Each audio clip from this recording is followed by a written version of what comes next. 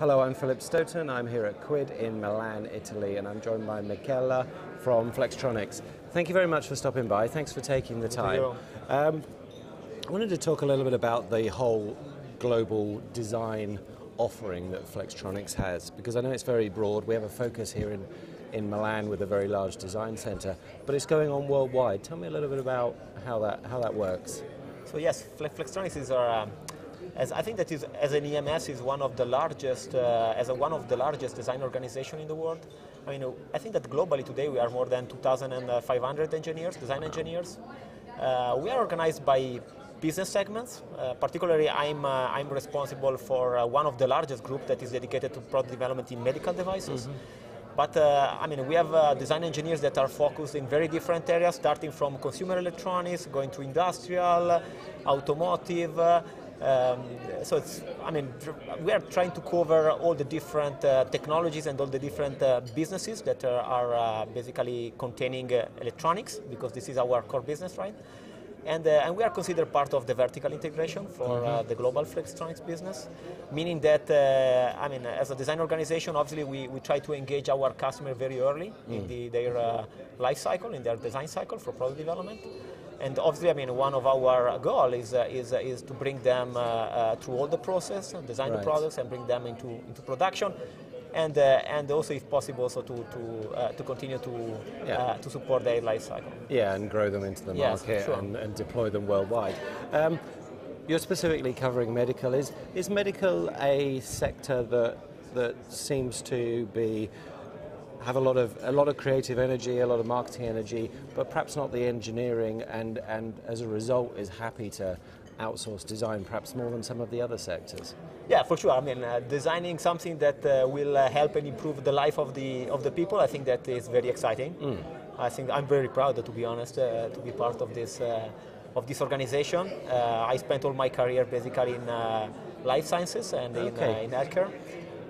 So yes, you're right. I think that there is a, an, an, an an increased motivation, if you like, in our design engineers, obviously, to design products that will improve the life mm. of our patient, our our uh, uh, our partners.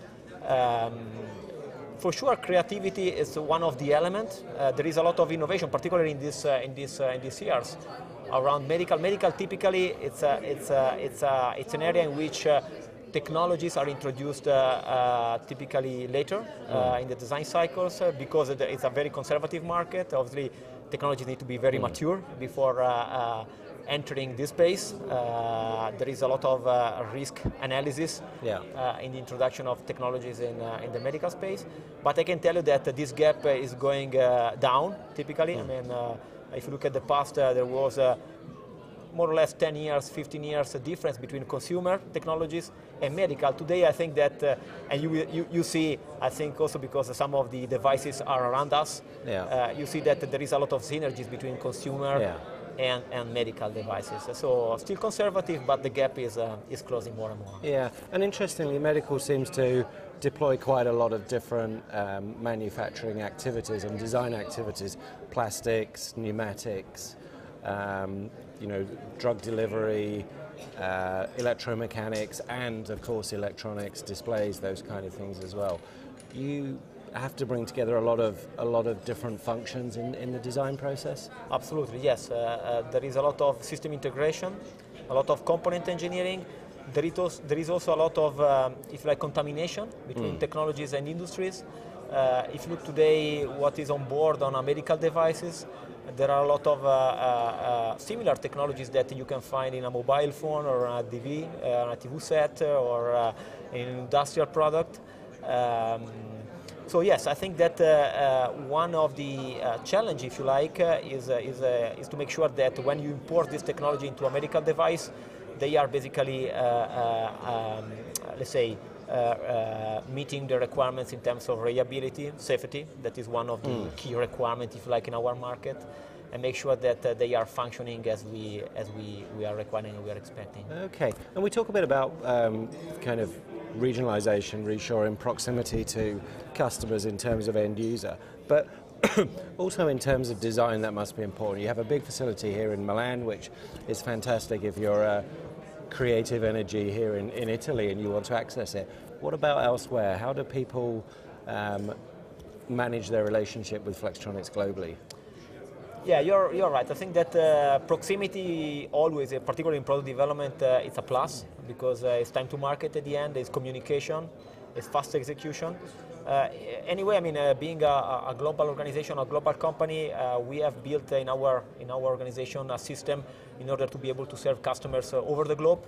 I can tell you that, for instance, for, from, from this design center in Milan, uh, we serve uh, customers uh, in US, in North, in North Europe, in Asia, and we, we, we created the ability really to transfer products from design into manufacturing in Far East, in Asia, in Eastern Europe. Mm. So the, the network and the nodes that we created really to, to serve different needs and different customer needs is very complex and it's really tailored exactly on the, on the specific business need uh, and, uh, and desire, if like, from, from, from our customers. So there is not one unique way mm. To bring uh, in yeah. production uh, something or to yeah. design something. It's really, it's really customized and tailored for each specific business, specific customer. Yeah. Uh, for sure, uh, the uh, uh, location that we have here in Milan is it's very, it's very important because it's the center of the world, if you like. I can tell you that our engineers uh, are starting very early in the morning and mm -hmm. talking with our factories in, uh, in, Asia, in China, yeah. in Asia, right, to uh, to make sure that when we introduce uh, and we are doing prototyping, for instance, during a product introduction in, Asia, uh, things are going as expected. Mm. On the other side, most of the customers are in North America, so we, so we basically we close we close in the evening and the night with meetings and calls with them. So I think that I mean being in this central part, if yeah. like, of the world, it's, it's, it's for sure it's an advantage. Yeah. Uh, and also communication and yeah. technologies today for yeah. sure can help uh, uh, to connect basically yeah. people and organization. Right? Yeah, and I guess good ideas never sleep. You've got to be there 24/7. Correct. Providing those solutions, and you leverage kind of video conferencing, those kind of technologies to actually get almost in the room with people when you can, I absolutely, guess. Absolutely, Yes, we also we have developed internal tools, if you like, mm. uh, that we, we use uh, together with our customers uh, to do web calls, uh, web meetings, mm. so virtual uh, events.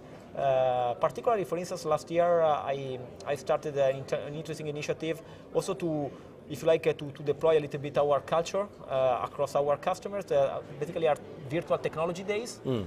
Uh, that is, uh, is really a, an open event in which our engineers uh, are uh, uh, freely talking to our customers in a couple of hours of presentation to basically to, to update them mm-hmm. on what is going on in the market, yeah. in the industry, in the technologies.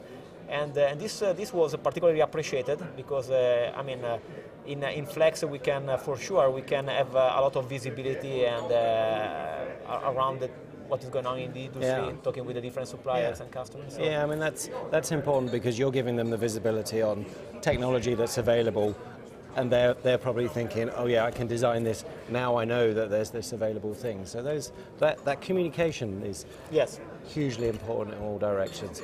Michele, thank you very much for talking to me. Thanks for your time. Always a pleasure, and thank we'll you. speak again soon. Thanks. Thank, thank you very much.